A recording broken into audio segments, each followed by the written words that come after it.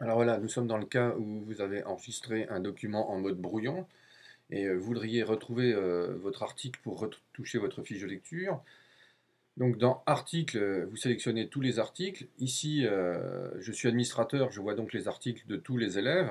Mais si vous connectez avec votre identifiant, vous verriez vos articles et vos brouillons à vous également. Donc je vais sélectionner le lien brouillon, choisir une fiche à modifier.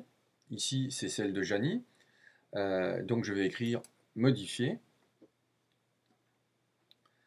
On voit que euh, l'état ici à droite est à l'état de brouillon. Je voudrais faire quelques modifications. Alors euh, ici en particulier insérer la, la, balise mort qui permet de découper l'article sur sa page de présentation afin qu'il n'occupe pas tout l'écran. Euh, je vais donc insérer euh, ce bouton qui va mettre euh, ce lien mort, vérifier que mes catégories sont correctes et je m'aperçois qu'elles ne le sont pas, donc je vais les modifier. Ce n'est ni du Moyen-Âge ni tragique, c'est bien un apologue qu'on pourrait dire polémique. Je fais quelques petits changements et cette fois-ci, je décide de publier en enregistrant euh, définitivement mon article et en le publiant.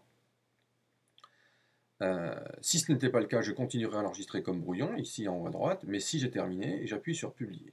Donc je peux préparer euh, ma fiche de lecture en plusieurs fois, jusqu'au moment où je décide de la publier.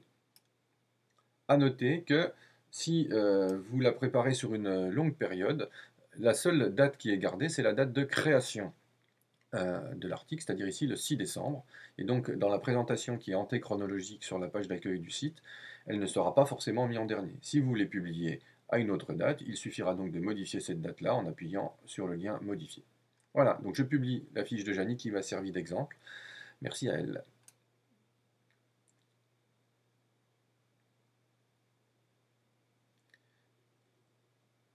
Voilà, maintenant la fiche est publiée. Si je veux la mettre à jour, c'est-à-dire la modifier, la modifier, je recommence et j'appuierai sur mettre à jour.